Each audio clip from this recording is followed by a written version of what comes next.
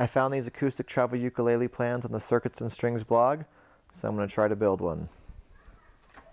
I've already done some of the main cutting, so so far I have the back, the frame for the body, the neck,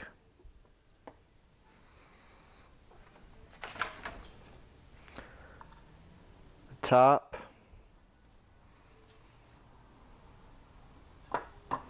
the fretboard,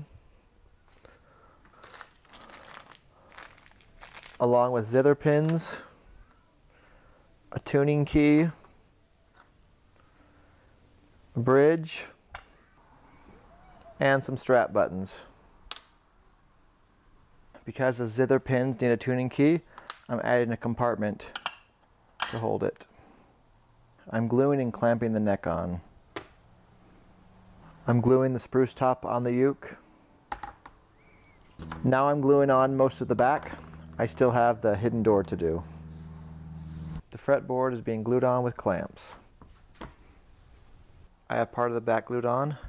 The other part is a cover for the tuning key compartment that's held on with magnets. It's time to apply some Tru-Oil. Couple coats of Tru-Oil have been applied to the uke. It's time for strings. We have tuning key, zither pins, strap pegs, back cover, and the uke itself. Have the zither pins installed and the strap pegs along with the strings, so now I can put the tuning key back.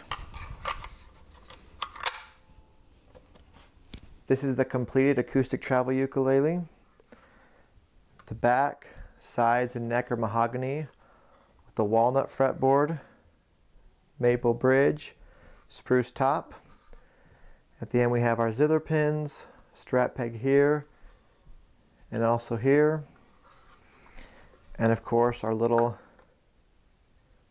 compartment for the tuning key. And here's how it sounds.